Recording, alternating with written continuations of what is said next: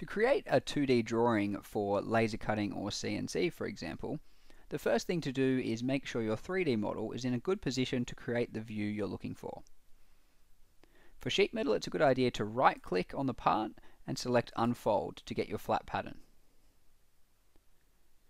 Then go up to the top left in IronCAD and click on New CAXA Draft. Inside CAXA Draft, select Standard View Choose your primary view and position it if you'd like to. In this case, we'll rotate it down 90 degrees. And then select the view you'd like to create. In this case, we'll grab the primary view, which is this one shown in the preview. Then select on the Options tab and choose any projection objects you'd like to use.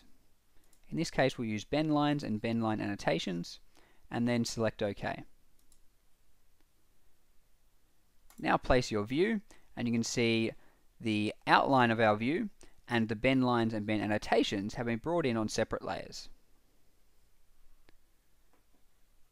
Now just select Menu, File, Save As, and then choose the DWG or DXF version you'd like to use.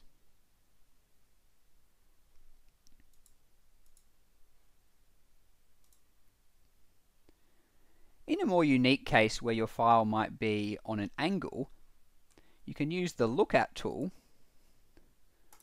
to make the 3D view look directly at a face. Then when placing your view in the CAXA Draft environment, you can click on From File to make the primary view the view you have in 3D.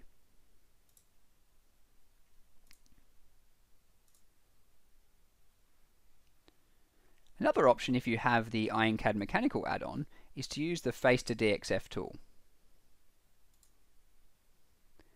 Simply drag and drop the Face to DXF tool onto the face you'd like to create a DXF of, and then choose where to save the DXF.